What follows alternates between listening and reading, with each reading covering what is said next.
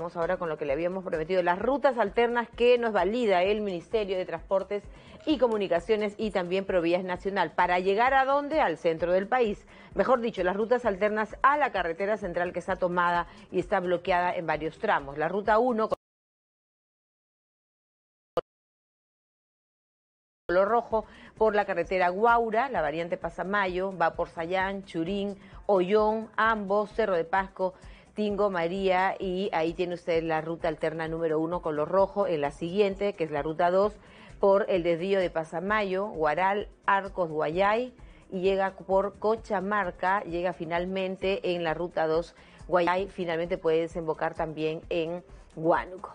Finalmente tenemos la ruta 3, Lima, Canta, Guayay, Cochamarca, Finalmente está usted ya a la altura del kilómetro 206.178 kilómetros, pero esta ruta 3 nos lleva hasta Cerro de Pasco, ¿no? Son las alternativas que podemos tener si queremos llegar al centro del país y no tomar pues la carretera central. Ruta 4 a través de Cañete por Lunaguaná, Zúñiga, el desvío en Yauyos, Roncha, Chupaca, Pilcomayo y ya está en Huancayo. Chupaca, evidentemente estamos hablando de la región Junín, a través de Cañete, San Vicente de Cañete, Luna, Guaná y está llegando a Chupaca.